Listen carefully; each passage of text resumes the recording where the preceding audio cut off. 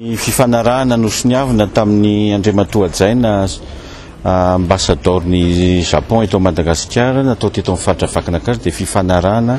ho fanomezana avy amin'ny vahoaka Japoney fiarakodia hitondrana marary na fihetsontsika azy amin'ny teny mahazatra dia hoe ambulance. Ambulance izay ho ampiasaina eto anivon'ny faritra Vakinakaratra iray manontolo. Azo ampiasain'ireo toeram-pitsaboana rehetra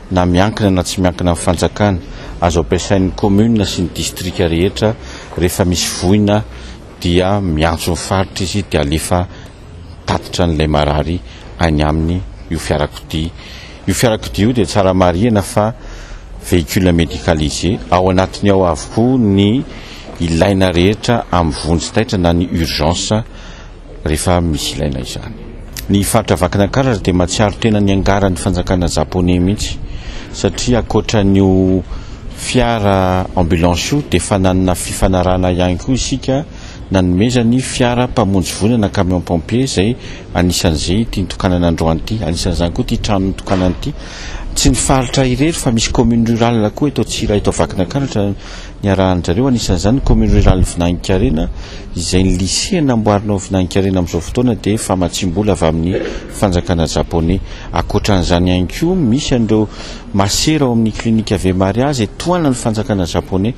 ary isan-taona izany ny Ambasadaoron'i Japana miasa eto Madagasikara